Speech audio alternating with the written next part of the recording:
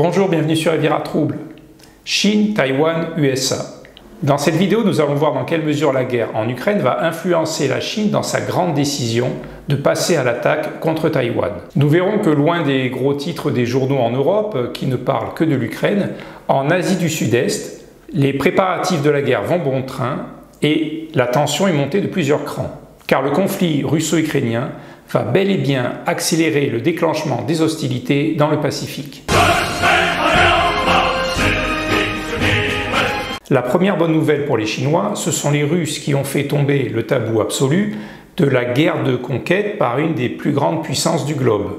Depuis la fin de la Seconde Guerre mondiale, il y a eu les guerres d'indépendance, les guerres que l'Ouest et l'Est euh, se sont faites à travers des petits pays, les guerres d'Irak, la guerre d'Afghanistan, mais jamais une des grandes armées au monde n'avait déclenché un conflit pour s'emparer de territoires. Nous sommes également habitués à ce que les conflits territoriaux soient toujours larvés, avec la présence de casques bleus ou d'observateurs, et que cela dure des décennies. Par exemple, les tensions Cachemire entre l'Inde et le Pakistan.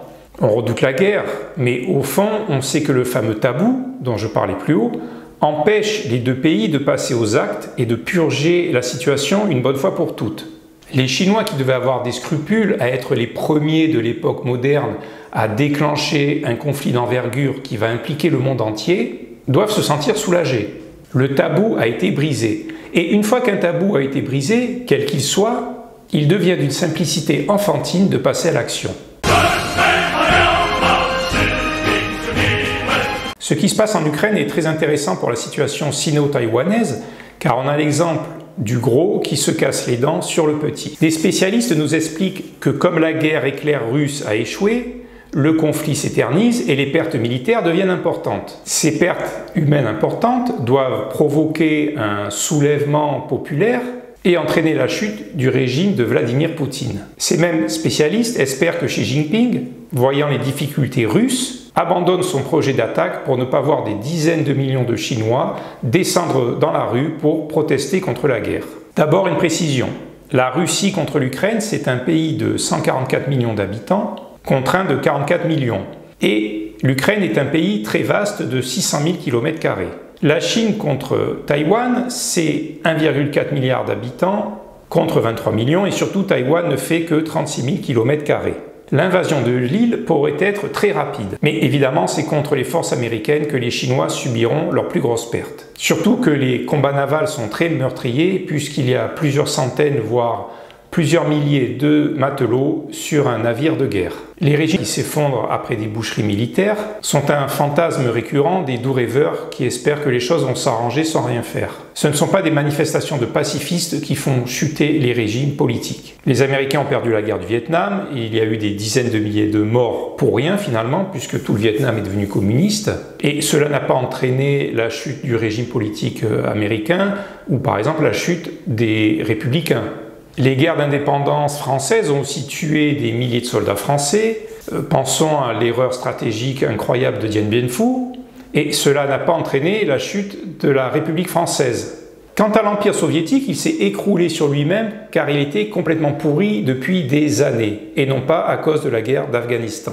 Les militaires chinois peuvent se rassurer. Dès le début de l'attaque russe, on a été abreuvé à la télévision d'images de personnes qui manifestaient à Saint-Pétersbourg, à Moscou, et on nous promettait la fin de Vladimir Poutine. Le régime a repris les choses en main et les sanctions européennes ont fini le travail en soudant les Russes autour de leur président. La Chine pourra encaisser une opération coûteuse en hommes. Une perspective de lourdes pertes n'arrêtera pas les Chinois qui en ont vu bien d'autres avec le président Mao.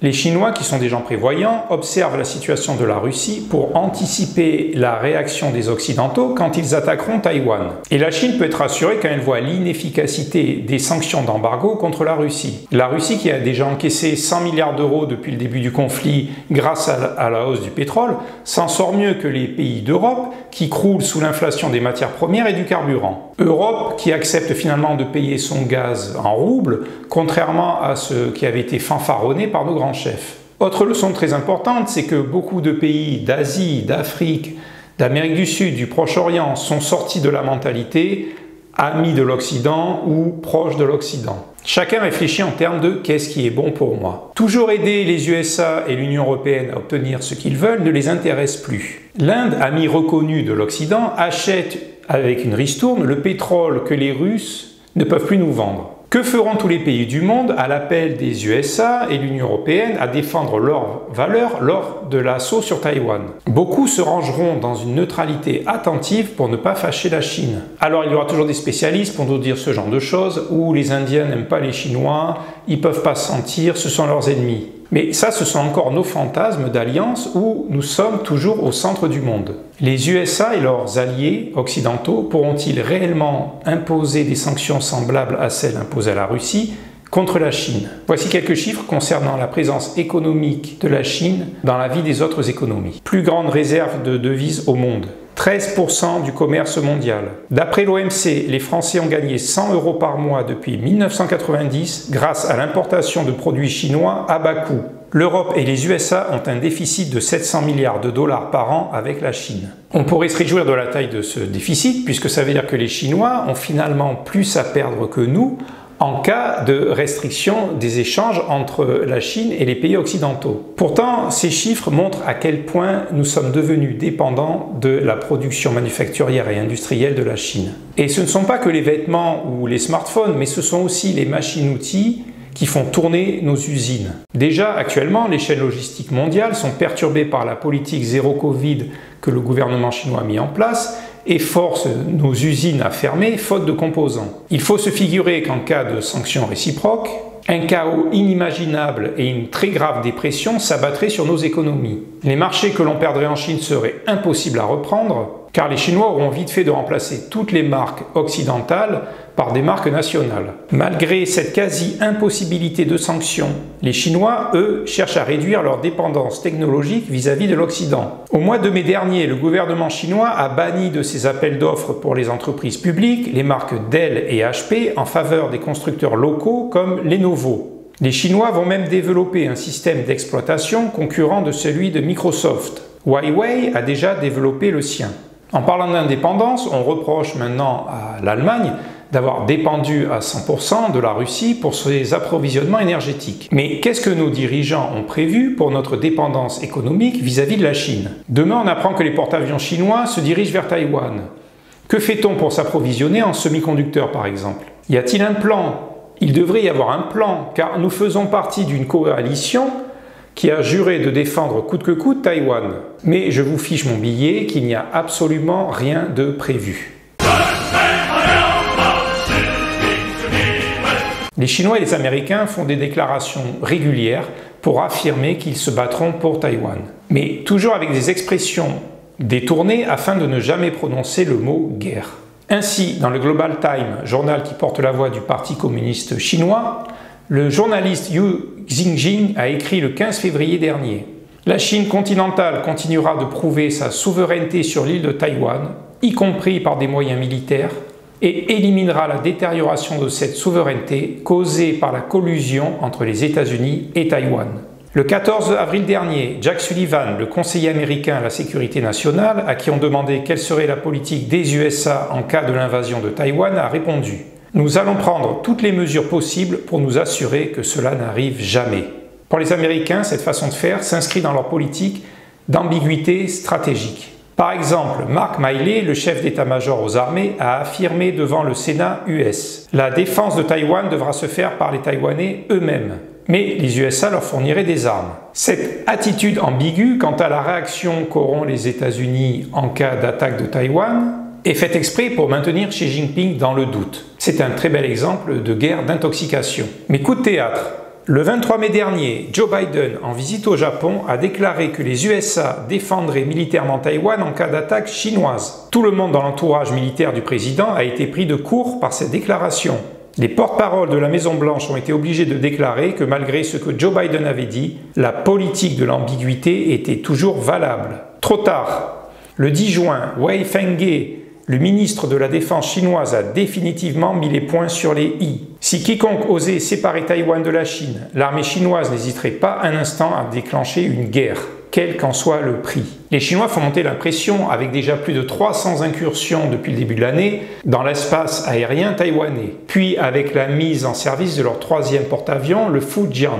Les Taïwanais aussi sont sur des charbons ardents. Dès le début de l'invasion russe, Tsai Ing-wen, la présidente taïwanaise, a déclaré Pour garantir notre sécurité, nous avons mis nos troupes en état de vigilance. La tension est tellement palpable qu'une chaîne de télévision a semé la panique en annonçant par erreur que l'invasion chinoise avait commencé et que la ville de New Taipei est touchée par des missiles guidés de l'armée communiste. L'erreur a été vite corrigée mais cela montre avec puissance que dans cette région du globe, on sent bien que l'invasion russe a changé la donne. Les USA, qui souhaiteraient que Taïwan soit la plus difficile possible à envahir, ont demandé aux Taïwanais de moderniser leur armée afin de transformer euh, leur île en porc-épic hérissé de missiles. Mais armer Taïwan n'est pas si facile que ça. Les Taïwanais ont voulu acheter des sous-marins aux USA, mais ceux-ci n'ont pas voulu leur faire de réduction et la vente a capoté. Taïwan leur a acheté des missiles Stinger, mais les Américains n'ont pas pu tout leur fournir car certains avaient déjà été livrés en Ukraine. Certains vont dire que les USA vont pas intervenir à Taïwan puisqu'ils sont pas intervenus en Ukraine. En fait, les USA, ils se moquent complètement de l'Ukraine, hein, ce pays qui n'a aucune importance pour eux et qui se trouve au fin fond de l'Europe.